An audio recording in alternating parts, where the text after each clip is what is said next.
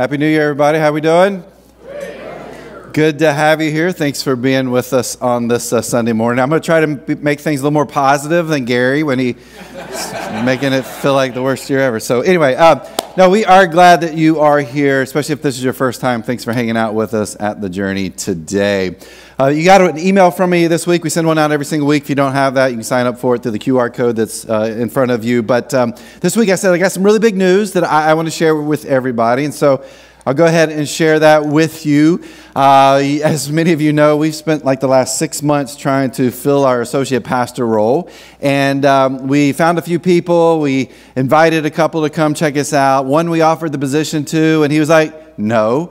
And. Uh, he, he, honestly he did have an opportunity that he couldn't pass up so we're excited for him but kind of left us like all right what are we going to do? And we've trusted god in this like like you can't even imagine. And um, as we were talking and thinking we're like there's a name that kind of started to pop up and it was uh, joel pasmino uh, Joel comes and fills in and preaches for me uh, frequently when I'm out or got COVID one time, and he jumped in on a Saturday's notice. But um, we have offered him an associate pastor role, part time role for now, about 25 hours a week to be here with us at the journey. Uh, so he will, uh, he accepted that position this past week. Uh, he will be, yep, we're excited about that. He will be over groups and spiritual formation, uh, pastoral care, and of course, he will be on the teaching team too. So uh, he lives in Silver Spring right now. Some point in time, we're hoping to have them move here. Um, but uh, he and his wife Megan, their son Jack, uh, we're excited to have them here. They'll be here next Sunday. Uh, he starts next Sunday, so uh, we're excited for that and to see how God kind of leads us in that. So, some big news there, and I'm really excited to have Joel on staff with us. Talking about jobs, I want you to think back to your very first job, okay? Not like the job you got out of college, but like the very first job you've ever had. Uh, maybe that was retail, maybe it was lifeguarding, babysitting, grocery store. My very first job was landscaping. I was uh, 13 years old. Uh, there was a guy in our church had a landscaping company, and so he's like, "Hey, I need some help on this particular Saturday. Can you help me out?" And so I was like, sure, no problem at all. He's like, I'll, pay you a little bit. And it's like, that sounds great. So he takes me to this property he's working on, and it's this huge piece of land, and it's just dirt, right? He's, they're putting grass there, and it's all this dirt. And so he's like, hey, I got to get on the tractor and go to the other side and, and work on some stuff there. But here's what I want you to do today I want you to walk through this dirt. I want you to pick up every rock and stone and uh, branch and root you can find and throw it over into the woods. I'm 13 years old. I think I worked like 30 minutes that day. I spent about four hours laying in the back of his truck bed saying, What am I doing? This has got to be the worst job ever. Mind you, I've never had a job before up until that point, but I was like, There can't be anything worse than this. I'm never going to do this again. And then for the next 10 summers, guess who I worked for? I did landscaping with this guy and, and kind of loved it to some degree. That's why I don't like doing any landscaping around our house now, is because of all those years doing landscaping. You think about those first jobs that you had, you learned a lot about yourself, right? You, you learned a lot about other people, and of course, you learned a lot about life. And here we are so many years later, and chances are pretty good you're not still doing the same job that you were doing 10, 20, 30, 50, 60 years ago, right? Where you, are doing something else. You've done something else with your life.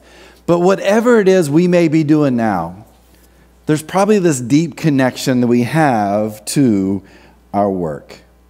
And so, over the next few weeks, we're going to talk about work. We're in the series called Workology. We're going to do the study of work. We're going to talk through our work and what it looks like for us. And, and today, we're going to start by talking about why our work matters to God. But let's start with a, a, big question that, that maybe you didn't know you were answering, but, but you and I are. And the question is why? Why do we work? Now, there's many different reasons why we work. There's paying the bills. Uh, I got to pay my bills. I, I, need to, you know, pay for food, and I, have got to pay for a place to stay, and I've got to pay for pay for transportation, and you know, got some bills to pay, and it's kind of like I owe, I owe. It's off the work I go, right? Um, we've got to pay the bills, and that's why we work. Maybe for others of us, it's identity. What's like one of the second or third questions we ask everybody we meet? What do you do for a living? Why do we ask, what do you do for a living? It's pretty simple. There's an identity to that. And for many of us, that's what we live for. We live for the identity of the work that we do. For others, it's success. We, we want to keep up with our neighbors. We want that promotion. We want those awards. We want that pay increase. And so we just work for success. Still others, it's all about purpose. Now, this isn't entirely a, a, bad one, by the way, but, but you have this purpose in your life and you see what you do is good and you're helping people and caring for people and, and it's important to you. But as we look through this, this list, the reality is nowhere in Scripture does it say these are the four things that you need to work for, which means there must be something more to the work that we do. And, and there's got to be a reason that that work actually matters to God. Well, how do we know this is true? Well, we're going to go back to the very beginning, like the literal beginning. We're going to go back to the creation story with Adam and Eve. And in Genesis chapter 1, starting with verse 26, we read this. Then God said, Let us make human beings in our image to be like us. They will reign over the fish in the sea, the birds in the sky, the livestock, all the wild animals on the earth, and the small animals that scurry along the ground. So God created human beings in his own image. In the image of God, he created them, male and female, he created them. Then God blessed them and said, Be fruitful and multiply, fill the earth and govern it, reign over the fish in the sea, the birds in the sky, and all the animals that scurry along the ground. So here we have God. God has created the world, and God has created humans. And then, if you look at these humans, do you see what their job is? Like they are the CEO of the world at that time, right? God, God has told them, here's the deal. You are in charge. You get to rule over the land. You get to reign over the animals. Now, the pay is not very good because you're not going to get paid at all for this, but think about it. You get to hang out in this amazing, beautiful garden for as long as you want, and you get to hang out with me. I, I read this passage here in Genesis chapter 1. And I think work hasn't always been a grind, has it? Because this sounds like a pretty sweet gig. But there is a key point to this. If you go back and you look at that, Adam and Eve, they have to work. Right? Again, our image of Adam and Eve in the garden is they're laying around in hammocks all day, drinking Mai Tais. There's angels around just popping grapes in their mouth whenever they want it. Like, this is like the best inclusive resort you could ever be a part of. But that's not what it is. God's like, hey, you're here, and I've got work for you to do. Now, of course, something changes if you know the story. The serpent shows up, pretty cunning character in all of this, and has this conversation, and it really changes this, this mindset that these humans had and, and what God had asked them to do. In, fact, it's the first theological conversation we actually have in Scripture because the serpent's been studying God and, and comes to them and says, Hey, let me tell you a few things about God. Like, God doesn't want you to know certain things. God doesn't want you to know the same things that God knows. And so, God's trying to keep you down. God's trying to oppress you, and you can get out of that oppression by eating this fruit. Well, what happens here? Go to Genesis chapter 3, starting with verse 6. The woman was convinced. She saw that the tree was beautiful and its fruit looked delicious, and she wanted the wisdom it would give her. So she took some of the fruit and ate it. Then, excuse me, she gave some to her husband who was with her, and he, he ate it too. So we have Eve. Uh, she's persuaded that the fruit is, is something that, that they should eat, and so she eats it. But, but also notice there it says she gave some to her husband who was with her. Right? This is another image we have of the story that, that Eve's by herself, kind of hanging out. Adam's out playing golf for the day. He comes back home, and Eve's like, Man, I got some new fruit for you. This is going to be amazing. You should really try this. I really liked it. And, and, then uh, Adam decided to eat it. That, that's not the case at all. He's right there with her. And, and he doesn't say, Well, hold up, hon, let's, let's talk through this. Can we have a conversation? You know, I don't, I don't think this is the best step for us. None of that takes place here. Adam is with Eve. They decide to eat the fruit, and they do it. Well, as you know the story, God tells them, hey, if you eat from this tree, if you eat from this fruit, you're going to be punished. If you look at the rest of chapter 3, we get to read some of those punishments. But I'm going to look at one particular part out of verse 17. It says, And to the man he said, Since you listened to your wife and ate from the tree, whose fruit I commanded you not to eat, the ground is cursed because of you. All your life you will struggle to scratch a living from it. It will grow thorns and thistles for you, though you will eat of its grains. By the sweat of your brow will you have food to eat until you return to the ground from which you were made. For you were made from dust, and to dust you will return. There's a survey that was done recently and found that 46% of U.S. workers said they wouldn't wish their job on their worst enemy. Uh, 53% of global employees would choose a different profession than they are currently in. 40% of global employees wish someone had warned them not to take the job that they have right now at this moment. Nearly two thirds would switch their job right now if they could. You and I last in a, a, job for about 4.4 years before we move on. Over the course of a lifetime, we hold about 12 different jobs. It sounds like we love our work, don't we? Like it's the best thing in the world. I mean, nothing can be better than our work. And, and we read something like we read here in verse 17, and we're like, but this is why my work stinks. This is why I don't like what I do, because Adam and Eve couldn't obey God, right? It's their fault. Like they were in the penthouse and now they're in the outhouse. They were in the boardroom and now they're in the mail room. They had it all. And what did they do? They, they messed it up for us. And so here I am today, and this is why I hate the work that I do. But I want you to look carefully at the words here. It doesn't say that God curses the work.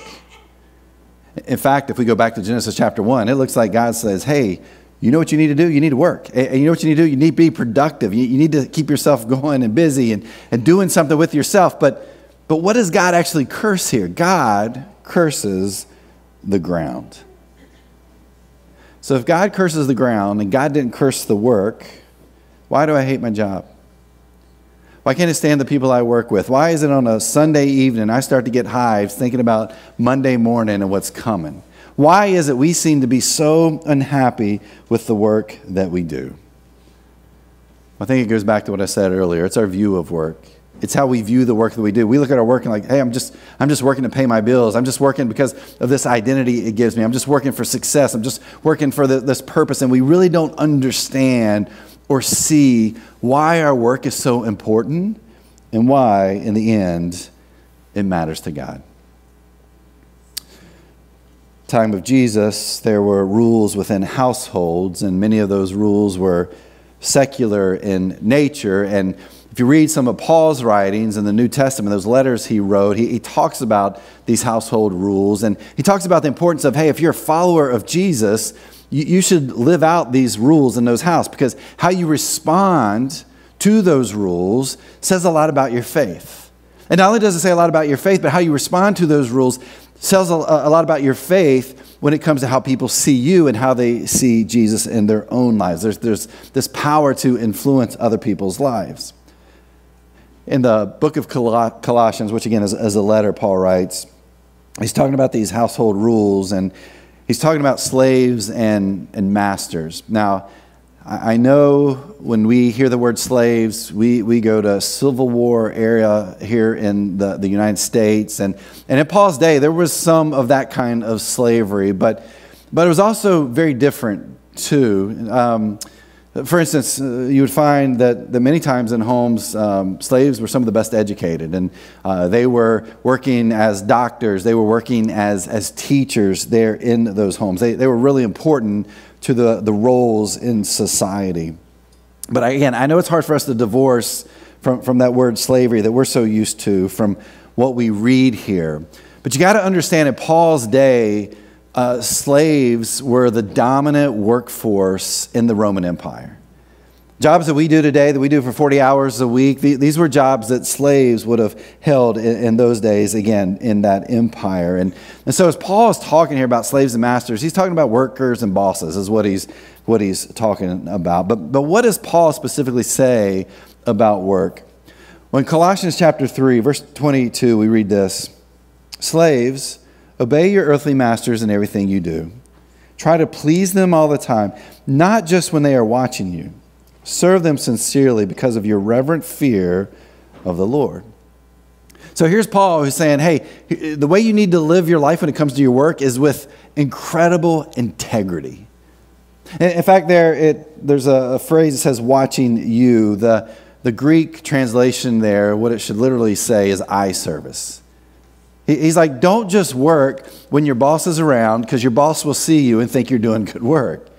He, he says, hey, the work that you do, whether your boss is looking or not, you should, you should give it everything that you have. And, and by the way, what you really need to know is that you have an ultimate boss. And that ultimate boss for you is God, that God is watching you. That even when other people aren't watching you, God is watching you. And so we should have this healthy fear of God when it comes to the work that we do. But then Paul writes this in verse 23, and this is um, our main verse for the day. It's our theme verse throughout this series. Paul says, Work willingly at whatever you do, as though you were working for the Lord rather than for people. Kind of break this down into two parts. The first part is Paul says, Work willingly. Now, some translations put it this way whatever you do, work at it with all your heart. Whatever you do, work at it with all your heart. This means whether you like your job or not, give it everything you have. Whether you, you like the people you work with or not, give it everything you have. It, whether you like your boss or not, or the people on your team, or the hours that you have, Paul says, give it all that you have. Work willingly with all your heart, especially, especially when no one is looking. But then there's a second piece to this passage. Paul says, work for God and not for people. There's actually a question in there for us to answer. And the question is, who do we work for?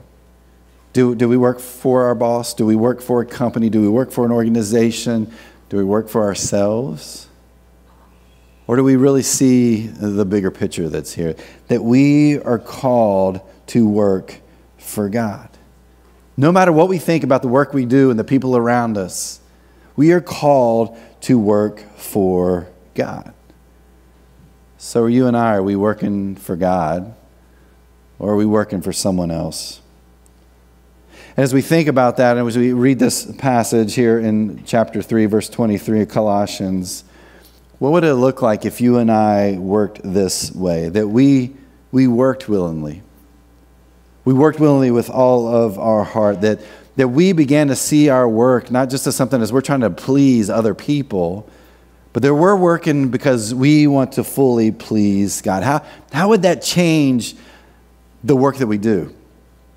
How would that change our, our feelings about work? How would that change our attitude about work? If it wasn't uh, about us trying to live out these different views that we have about work, but, but man, we just understood who God was and that our work matters to God, and so our work should matter to us. Could be, though, we need to go a little step further. In fact, step back. Because I think sometimes we can talk about this and we think this sounds great, but, but uh, what does this really mean for me? Well, if you're a follower of Jesus, you are called to something higher than most people, than other people are called to. That when it comes to our work worlds, um, we are called to live out this faith that we have where we work.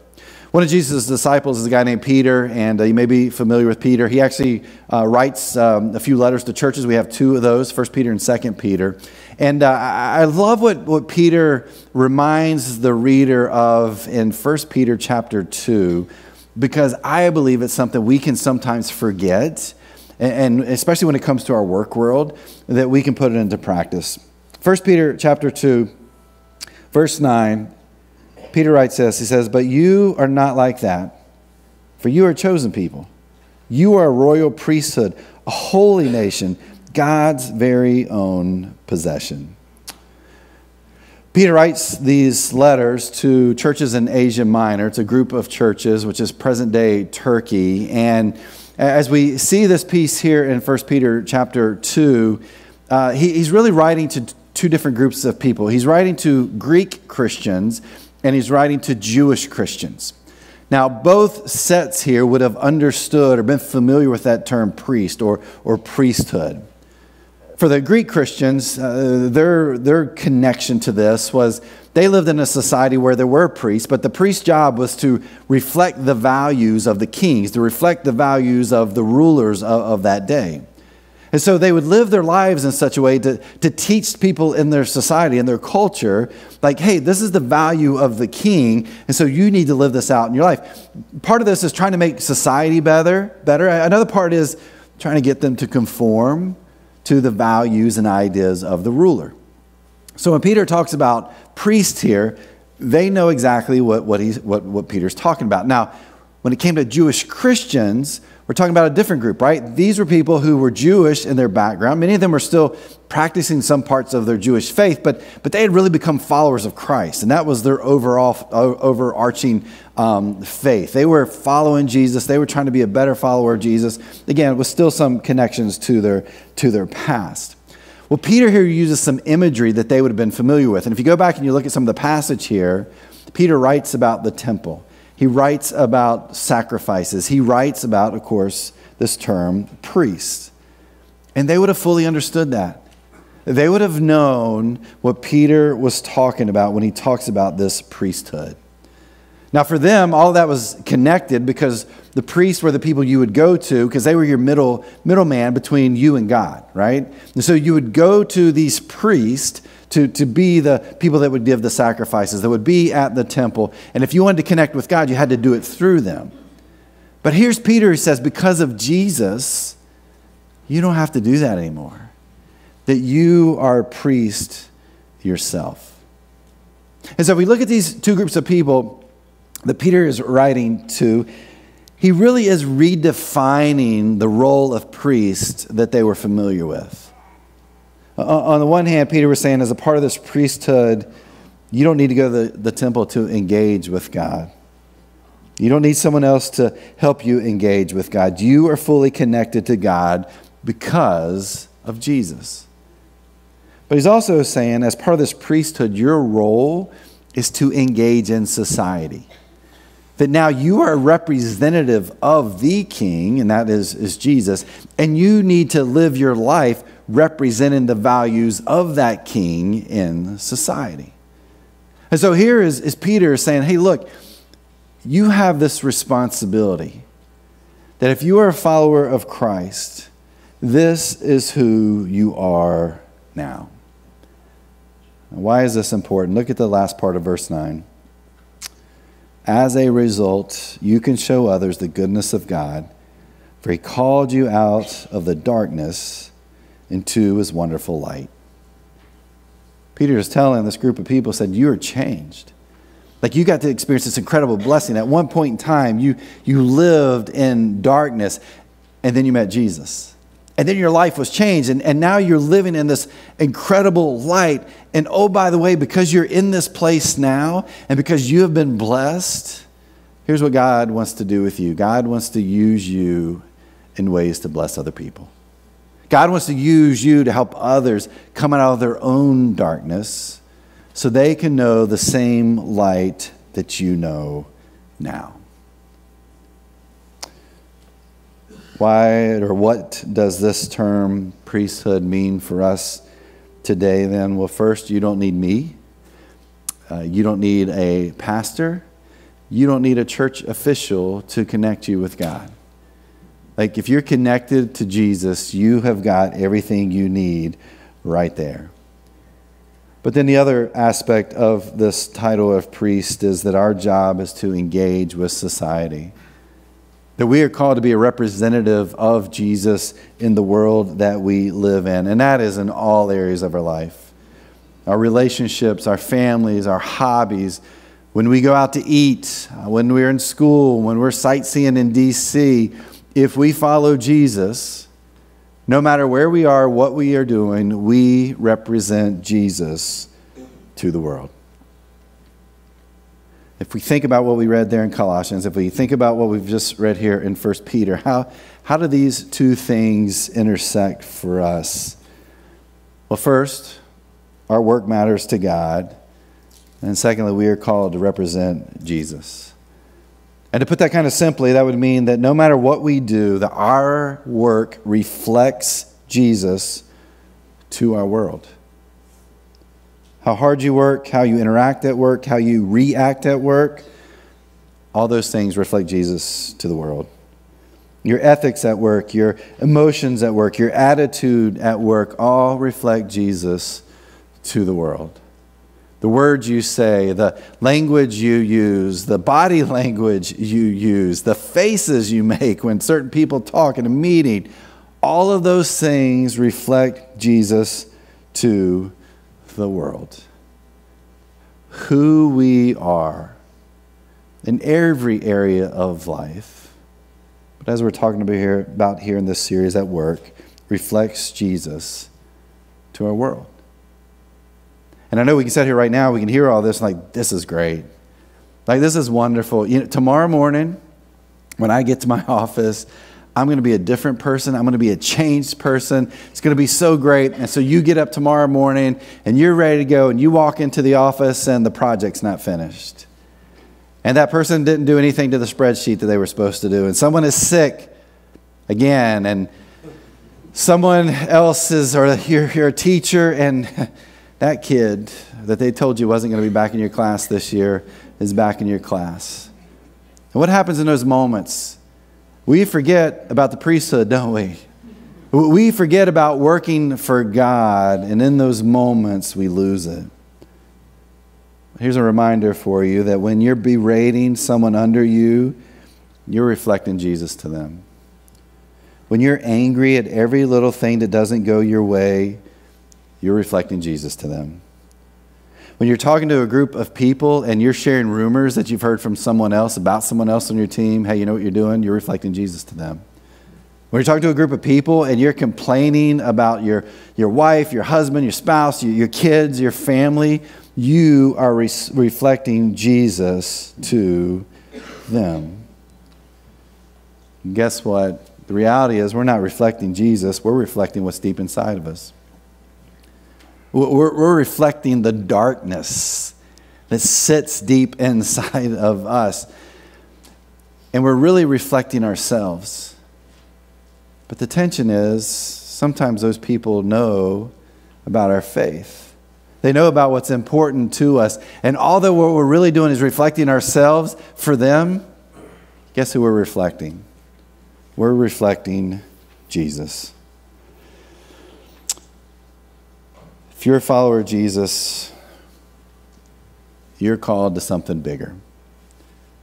We're called to represent the values and ideas of Jesus into our world. We're called to be a priest in our world, which means we're called to reflect Jesus to our world. With these ideas in mind and these scriptures that we've looked at today, let me leave you with three questions that I think are so important for us to answer. The first question is this Does Jesus matter to your work? Whatever the work is that, that you do, does Jesus matter to your work? Are you being a priest where you work? Are you being a representative of the values of Jesus to the people you work with? Or are you more focused on yourself? Are you most, most, more focused on paying the bills or success or your identity or this, this purpose? Are, are you, you more focused on your retirement or a promotion or a pay increase? Is that what's most important to you? Or in the end, are you really truly focused on Jesus? And again, whatever that work may be for you. Does Jesus matter to your work? Question number two is how are you reflecting Jesus to others? I think it's a really important question for us to answer because it has incredible consequences. If we go back to 1 Peter, Peter's like, hey, you were in the darkness, now you came out of the darkness, and now you're living in the light. And because of that, you have an opportunity to influence other people's lives. Well, what do people see when they see you at work? What do they see in you? What are you reflecting? Are you reflecting Jesus truly, or are you reflecting what's deep down in, inside of you? Because here's the deal when you hate your work, and you hate your boss, and you hate the people that you work with, I'm pretty sure you're not going to reflect Jesus in your workspace. You and I will reflect something else. And, and, Peter's like, but that's not the way God works. God wants to bless other people. And that can happen when you are truly a reflection of who Jesus is. How are you reflecting Jesus at work? And the last question I would say is what is the story you want to tell your life or your life to tell? Um, I, I, know that uh, there's going to be a day, hopefully not soon at all, but um, I'm going to step off this stage and my life as a pastor, my role as a pastor is going to be over with. And um, man, that's been my identity for, for decades. But in the end, the question is what will I be known for? Someday you're going to walk out of that office, you're going to walk off of that base, you're going to walk out of that school, that warehouse, your home, whatever it may be, and, and you're going to be done with the work that you've been doing. And on that day, when you step out of, of that place that has been your identity for years, what will you be known for? Did your work tell your story, or did your faith tell your story? Were you a priest where you worked, or were you just another disgruntled employee? In the end, people are not going to remember our work. We know this, right? They're, they're not going to remember our accomplishments. They're not going to remember our promotions, our titles, our pay raises, the awards we got. They're not going to remember any of that. What they're going to remember is how you treated them and how you invested in them, how you loved for them and cared for them and helped them and encouraged them. And look, some of those people need to be fired and not be on your team anymore. I get it. And that's okay. But did they see something different in you, even in that moment where maybe you've got to let them go? That they knew they were cared for and loved for and encouraged. Is that the story you want to tell?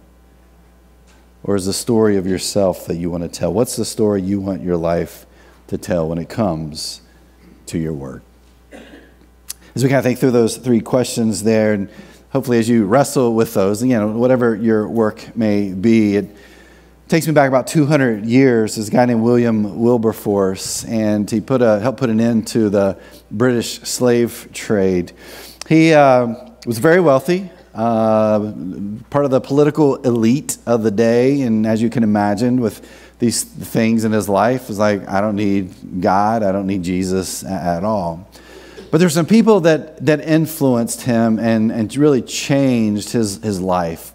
Uh, one of these people was Isaac Milner. Isaac Milner became a follower of, of Jesus and uh, began investing time into Wilberforce. And um, Wilberforce noticed that that Milner was different and changing and was talking to him, and Milner's telling him about his faith and how he had become this different person. And, and Milner's influence on Wilberforce got Wilberforce to this place where he finally became a follower of Christ.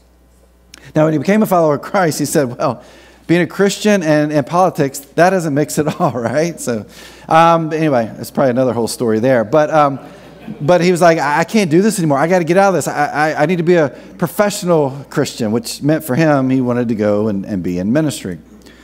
This guy named John Newton was a former slave ship captain, and he had become a pastor. And he got connected with Wilberforce, and they began to talk. And he, he told Wilberforce, he's like, hey, I just want you to know it's not God's will for you to go into ministry. You know what God's will for you is? To stay in politics. He's like, we need you there. And because of the influence of Milner and, Wilber, uh, and, and uh, Newton, and how God had worked in Wilberforce's life in such a way that he came out of that darkness into the light, God used Wilberforce in amazing ways. And like I said, he helped put an end to the British slave trade. Think about all these things we've been talking about today, the Colossians and, and what we read in, in 1 Peter and and how God can work in these amazing, incredible ways. And sometimes we don't even know it. And I look at someone like Wilberforce and I think to myself, well, that's exactly what God does. God brought light into other people's lives. And they lived them, their lives in such a way that they were this incredible reflection of Jesus. And because of that influence, other people's lives were changed. One of those people being William Wilberforce. And through him, God blessed him and so many lives through that. Your work matters to God. And if God matters to you, then you will be a reflection of Jesus at work, at home, in your neighborhood, at kids' activities, in our world. That you and I will be priests and reflective of the values of Jesus right where we are, right where, where God has put us to be. We go back to that passage. Whatever you do, work at it with all your heart as working for the Lord, not for human masters. So, my challenge for you over the next four weeks as we go through this series take that passage, write it down somewhere, put it on your phone, and when you get up in the morning, read it, say it, pray it. When you, when you get to work and you're sitting there tomorrow morning and you're trying to be different and change, but you know that project's not done, that spreadsheet's not finished, and you want to go in and go off on someone, take this passage, read it, say it, and pray it. And at that moment in that meeting where you're ready to unleash, maybe you're like, time out, give me one second, read it to yourself, say it, and pray it. I think if we began to do that, we would see a change in ourselves. And in that change, God would use us in amazing ways in our life, but especially where we work.